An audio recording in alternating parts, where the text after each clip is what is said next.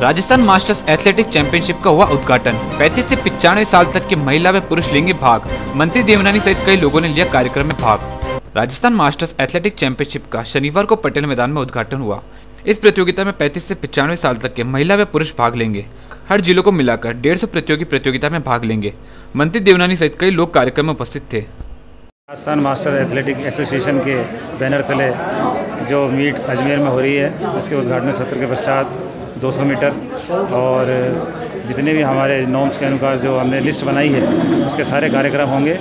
और इसमें 35 साल से लेकर कम से कम 95 इयर्स तक के जो महिला और पुरुष एथलीट हैं, वो इसमें भाग ले रहे हैं। इस प्रतियोगिता में हर ज़िले से हमारे पास प्रतियोगी आए हैं। कम से कम डेढ़ सौ प्रतियोगी इस प्रतियोगिता में भाग लेने की उम्मीद है।